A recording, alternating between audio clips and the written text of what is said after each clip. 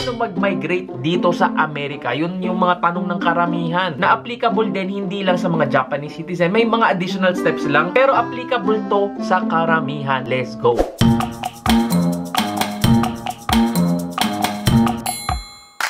Hello guys, what's up? Welcome back to my channel. And for today's video, sagutin na natin yung question o yung request ni Michi Takahashi 36 last time or last last time, ang tagal na pala nun, para sa mga Japanese citizen na gusto mag-migrate dito sa Amerika. Actually, disclaimer lang, pwedeng applicable pala to sa lahat kasi nung ni-research ko kung paano mag-migrate yung mga Japanese citizen dito sa Amerika, ganun din siya para sa atin sa Pilipinas. So, sa mga sasabihin kong baka medyo mali, correct me if I'm wrong guys, pero ni-research ko na siya para sa'yo, Michi Takahashi. Let's go! At kung bago ka lang napadpad dito, ako po si Vince, Filipino living the American dream at gumagawa ako ng mga Buhay America vlogs. Kaya kung hindi ka pa nakasubscribe, please click the subscribe button at yung notification bell para updated ka kapag may bago akong upload. So nag-upload ako ng vlogs every Saturdays, 12 to 1pm Manila time at sinasagot natin yung mga requests at yung mga comments nyo sa last video. So, sasagutin din natin yung mga comments nyo doon sa last video. Bibilisan ko, magagalit yung nag edit sa akin. Pero, sagutin muna natin si Mitsi, Takahashi doon sa paano mag-migrate dito sa Amerika. Yun yung mga tanong ng karamihan na applicable din hindi lang sa mga Japanese citizen. May mga additional steps lang pero applicable to sa karamihan. Let's go. Step 1. Generally, kailangan natin ng approved petition by the USCIS. Paano ba tayo magkaroon ng petition? Dalawa yan. Ang mag-file either is yung nga, family-based or employer-based. Step 2 Once ma-approve yung petition, that's the time na pwede na tayong mag-apply ng immigrant visa. Ito yung high level lang guys ha. Again, step 2, once ma-approve yung petition and yung priority date is current, pwede na tayong mag-apply ng immigrant visa. Step 3, kapag nakapag-apply na tayo ng immigrant visa at kapag meron na tayong notification from USCIS or NVC to pay the bill, ayun, that's the next step. Magbabayad na tayo ng immigration fee. As of February 2013, $220 yung immigration fee na babayaran sa USCIS. So babayaran mo yun after getting getting the visa and before flying to the USA. So yun. In most cases, petitions are filed online at USCIS. So for more information, visit www.uscis.gov. So guys, yun talaga yung pinaka high level paano makapag-apply ng petition dito sa Amerika. Okay guys, so recap lang. Step 1, kailangan mag-file ng petition. Sinong gagawa niyan? Si petitioner syempre.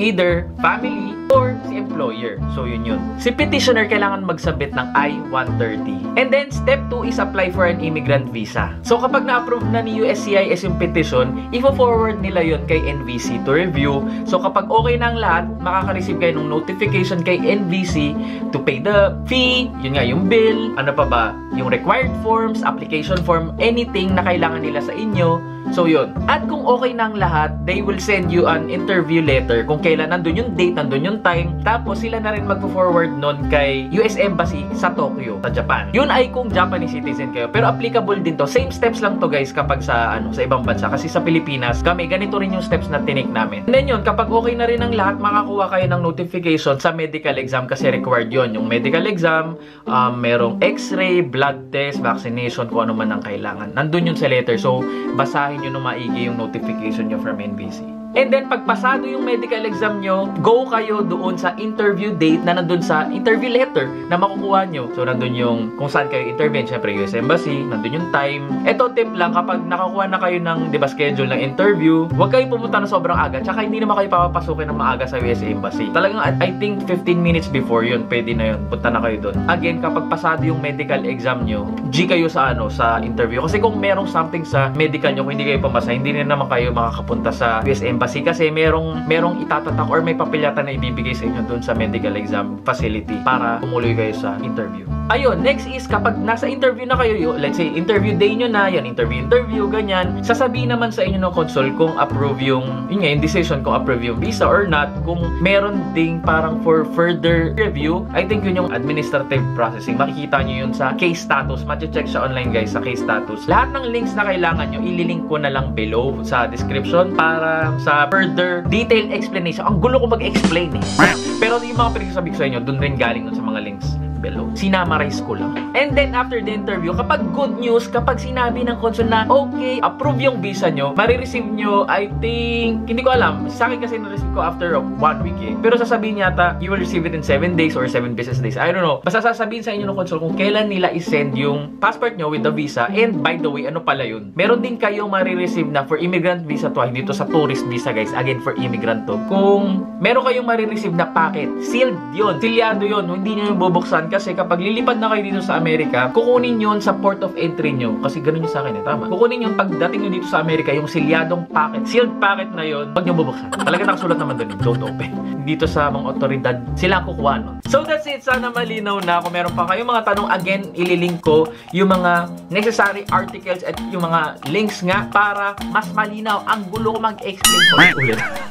Pero sana kahit pa paano may natutunan ka at medyo lumiwanag at na-enlighten at na, yun nga, dami sinabi. Sana na, na-clar- na-clarify ko naman kahit pa paano yung mga agam-agam mo. Mitzi Takahashi. So that's it for today guys. Thank you so much for watching. Yung mga comments nyo sa last video, don't worry, gagawa ako ng separate video para sagutin lahat ng nag-comments doon sa last video. Kasi sobrang haba na ng vlog. Ayoko rin ubusin yung oras nyo. Wag, ganun gaya ng pag-ubos ng oras niya sa akin. ano sabi ko? So yun, Mitsi Takahashi, sana nasagot na natin. At para sa mga ibang Japanese citizen at sa mga kahit Filipino citizen, again, applicable to, ililink ko sa description down below lahat ng mga necessary information na matututunan nyo, matututunan nyo, nyo paano mag-migrate dito sa Amerika. I hope I'm making myself clear here. Wow, feeling. Again, that's it for today, guys. Thank you so much for watching. Kung tinapos mo tong video without skipping, thank you so much. Sorry naman, guys, ang sabaw ko today, 2 hours lang kasi tulog ko. Grabe, ang hirap ng walang tulog. Guys, pero okay na yun. Mas okay na yung walang tulog kesa yung walang gising. What? What? Feeling. Anyway, yun nga guys. Grabe, 2 hours yung tulog ko. Kaya sobrang sabaw ako today. Pero I'm trying my best para ma-explain lahat sa inyo. So again, sana meron kang natutunan kahit konti lang. At kung meron, at kung natuwa ka naman, kahit konti lang kung may natutunan ka, please click the subscribe button at yung notification bell. Pa again, nag-upload ako ng vlog every Saturdays, 12, 12 p.m. Manila time. Sagutin natin yung mga comments nyo sa next video. If you wanna connect with me, follow me on my social media accounts at magkita-kita tayo sa next video. Peace!